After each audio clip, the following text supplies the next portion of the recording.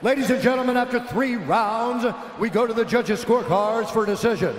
The judges score the contest 30 27, 29 28, and 29 28 for the winner by unanimous decision, Michael Maverick Chiesa!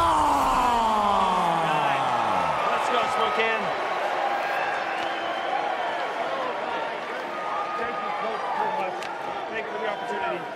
Michael Chiesa, this is easily the biggest win of your career, in my opinion. How's it feel? It feels good. I'd like to cut this interview short and ask my next opponent, Colby Covington. I'll see you in July. Wow! Michael Chiesa.